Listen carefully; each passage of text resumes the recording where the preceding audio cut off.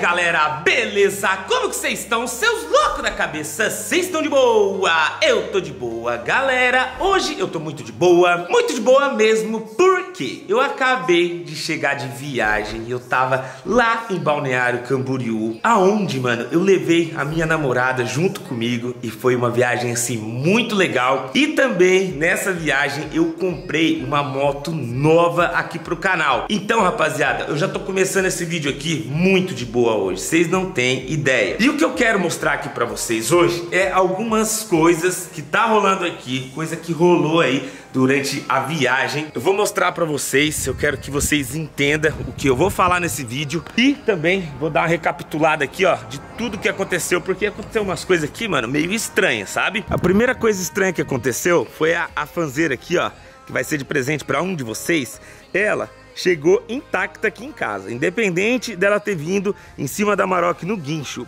Porém, mano, o pneu dela, velho, murchou. Eu não sei o que pode ter sido, tá ligado? Pro pneu dela ter murchado. Mas, de qualquer forma, eu acho que eu vou ter que levar ela na borracharia pra arrumar esse pneu aí. Porque eu acho que talvez ele esteja furado ou tá vazando ar pelo bico, coisa do tipo. Não sei se talvez é porque eu apertei muito a fita que segura ela em cima da carroceria. E talvez tenha pressionado muito o pneu e aí por isso acabou murchando. Vamos torcer pra que não seja nada grave, pra que fique baratinho pra arrumar. E aqui, rapaziada, negócio, mano, cabuloso, velho. A Maroc, quem viu aí o vídeo da viagem, sabe que ela estragou, né? Que ela começou a pitar os negócios ali no painel, começou a piscar uma luz, parecia uma árvore de Natal, sabe? Eita, peguei esse avião. Rasgando o céu, hein? O louco! E tipo assim, o que eu tô de cara aqui agora é que, mano, eu voltei pra casa e a caminhonete veio de guincho porque ela tava acionando modo emergência, se eu não me engano, no sistema de vela de pré-aquecimento. Foi o que eu consegui descobrir na internet, que era aquele, aquela mensagenzinha que tava aparecendo. E agora, mano, olha isso aqui, velho, ó, vou ligar aqui a caminhonete pra vocês verem, ó, ó. Aquela luzinha aqui do canto, ó, essa luzinha que vai aparecer aqui perto do número 1, é a luz que tava piscando, tá vendo? Ali, ó, do lado da luz da bateria. Aquela ali, mano. Não sei se vocês estão conseguindo ver, ó. ó. Vou ligar de novo, ó. Parece um olhinho, duas molinhas, não sei. Então, aquela luz ali. E chegando aqui em casa, eu peguei e fui sair com a caminhonete. Porque, tipo assim, eu pensei, falei, mano, ela tava andando. Só que ela tava acionando esse modo de emergência na estrada. Então, eu falei assim, vamos dar uma volta com ela, vamos tentar, né? Até porque eu tinha algumas coisas pra fazer. E na hora que eu liguei, hoje cedo, Olha isso, não tem uma bendita mensagem no painel dela, mano. Aquela luzinha ali, ó, é do freio de mão. Soltei aqui, ó, já apaga. Não tem uma luzinha, uma. Eu vou, ó, vou fechar a porta. Fechei a porta. Não tem uma luzinha sequer de erro no painel ou coisa do tipo, rapaziada. Que bagulho louco. Aquela ali que acendeu é porque o carro tá ligado e eu não tô com o pé no freio. Aí, se eu soltar o pé do freio, vai acender, ó, que legal, ó. Sabia disso não, hein? Não sabia dessa não, rapaziada. Vamos puxar o freio de mão aqui. Daí... É, aparece do mesmo jeito. É uma mensagenzinha pra você colocar o pé no freio. Eu acredito quando a caminhonete tá ligada. Fala aí, rapaziada, se isso não é estranho, mano. Tipo assim, o negócio deixa a gente na estrada por conta daquilo. Depois que, tipo, o que aconteceu, aquele erro ali, do negócio da vela de pré-aquecimento, acendeu também a luz da injeção. A luz da injeção continuou acesa. Só que a luz apagou. E eu não tô entendendo mais nada. Eu tô perdido porque essa luz aí tava acesa até a hora que, que ela chegou aqui, até a hora que eu deixei no guincho. E agora o negócio apagou como se nada tivesse acontecido. Talvez seja alguma coisa aí por plano de Deus, né, rapaziada? Pra livrar a gente de algum problema, não sei, sabe? Porque a gente estava vindo cansado, né? Ia chegar aqui 11 horas da noite, o carro estragou, era mais ou menos aí umas 4 da tarde. Então, tipo assim, a gente já tava bem cansado, 4 da tarde, até as 11 da noite, mano, tinha chão. Então, vamos acreditar aí que foi um livramento de Deus, até porque, ó, já sumiu até o erro ali do painel. O máximo que eu vou fazer ali é pedir para dar uma olhada, porque, mano, se voltou ao normal, eu vou fazer o quê? Eu, se eu for levar na oficina e pedir para trocar as coisas aí, ó, é perigoso os caras ainda me passarem a mão na cara. Então, eu vou pegar e vou andar mais um pouco, vamos ver se vai voltar a aparecer, vou tentar ver se rola alguma coisa esquisita na caminhonete, pra daí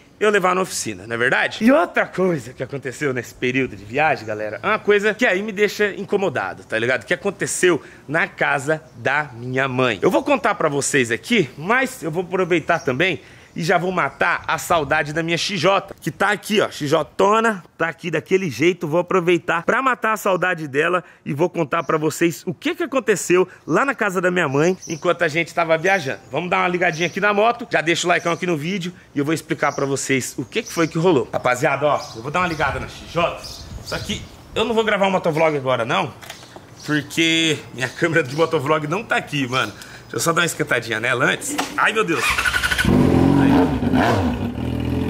Não, né? Dá aquela esquentada na XJ. Nossa senhora. Você é louco, essa moto barulhenta, hein, tio? Mano, você é um. Nossa senhora. Eu já tinha me esquecido do jeito que a XJ berrava, tá ligado? Você é louco, mano. Essa moto é, é sensacional, tá ligado? Ó eu vou lá buscar a GoPro e eu vou contar pra vocês aqui agora o que que rolou, tá ligado? O que que rolou nesse tempo que a gente tava viajando. Minha mãe tá na casa dela lá, né? Aquela casa que eu presenteei para ela e pro meu pai, onde a gente tem o nosso espacinho junto agora.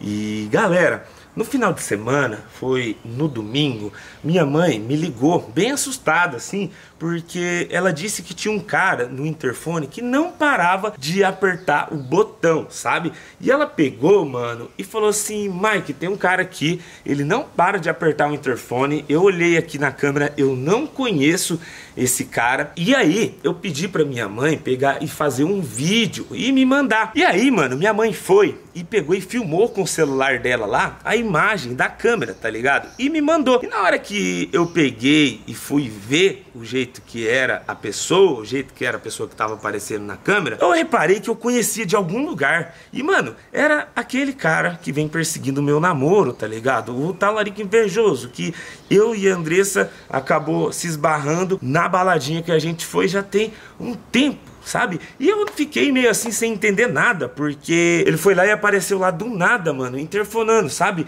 E ele não parava de interfonar, velho. Ele não parava de interfonar. E minha mãe ficou bem assustada assim. E na hora que ela me mandou esse vídeo, eu falei: "Não, não é possível, mano. Não é possível. Como que esse cara tá indo interfonar na casa da minha mãe, galera. Tipo, mano, foi, foi muito estranho, sabe? Foi muito estranho e já, tem, já faz um tempo que esse cara ele tá incomodando a gente, já faz um tempo aí que, que não tá legal isso que tá rolando aí, né?